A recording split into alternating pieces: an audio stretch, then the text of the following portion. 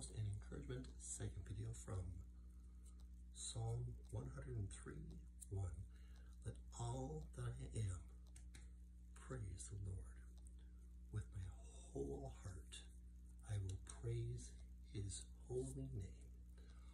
All that I am is all of us in our entirety, giving ourselves to God in praise.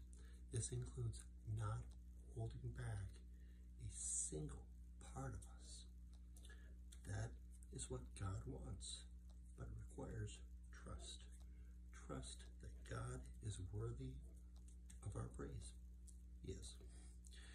And that He loves us and wants what is best for us.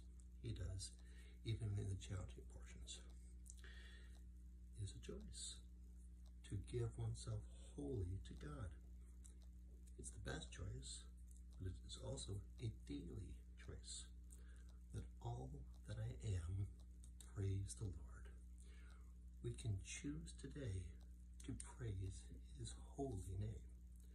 Each of us can make that choice to accept that God loves us is worthy of our praise, to choose to praise Him with everything we are and everything we ever hope to be. Let's God today and every day.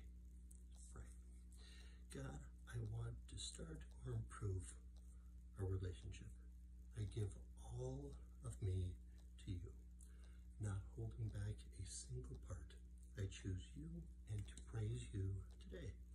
Forgive me, save me, and lead me. In the holy and precious name of Jesus Christ. watching, for liking, for commenting, subscribing. Let me know what I can pray for you, and have a super day.